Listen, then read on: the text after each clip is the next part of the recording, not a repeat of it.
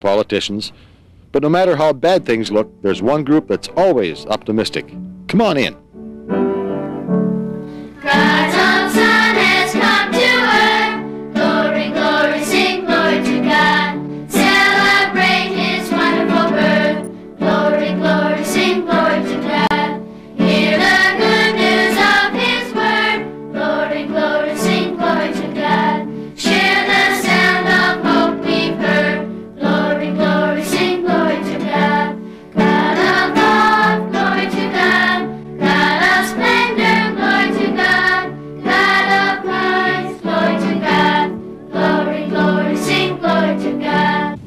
You know, you can sense it here. You can feel it in the air. People are hanging on literally by their fingernails to every scrap of hope presented by that mine.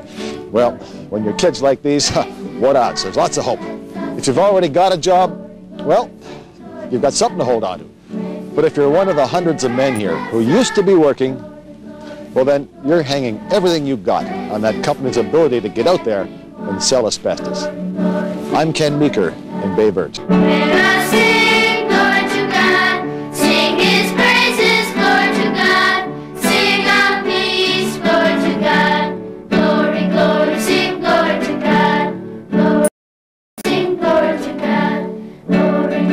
Sing